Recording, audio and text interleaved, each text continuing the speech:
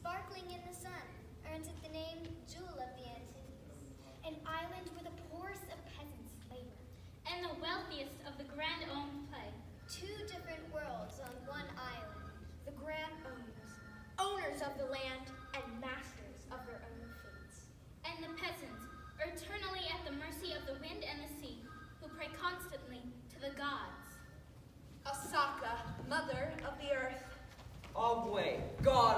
altar. Erzulie, beautiful goddess of love. And Papa Ge, sly demon of death.